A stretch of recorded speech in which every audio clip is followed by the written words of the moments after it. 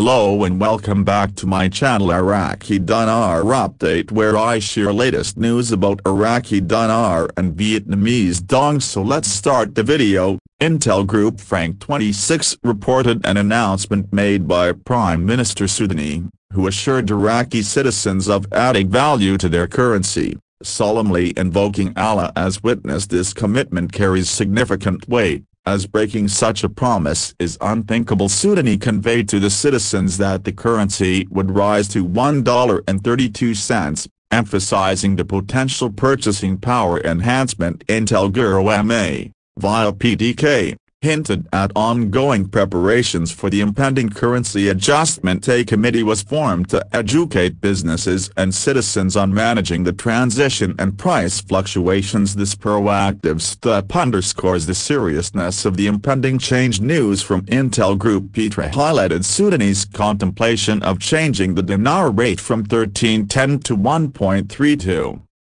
translating to 79 cents for U.S. citizens subsequent discussions centered on the introduction of new small denomination notes, indicative of tangible preparations for monetary reform Al-Allaq outlined measures to monitor external and internal transfers attributing exchange rate stability to curbing illegal trade and addressing speculation efforts to engage with approved international correspondent banks were hindered by previous sanctions on local banks coordination with relevant authorities and ongoing discussions with the U.S. Treasury aim to address these challenges and ensure a smooth transition.